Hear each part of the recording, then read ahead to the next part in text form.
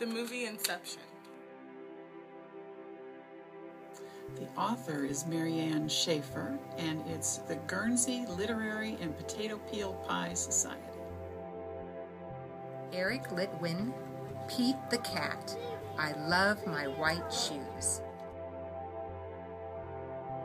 Lucy Maud Montgomery, Anne of Green Gables. The author is Hiaz Bridget, and the title is What to Expect When You're Expecting Joys. I love Major Pettigrew's Last Stand. It's fabulous. 1984. Susan Orlean, Rin Tin Tin. The Cat's Table.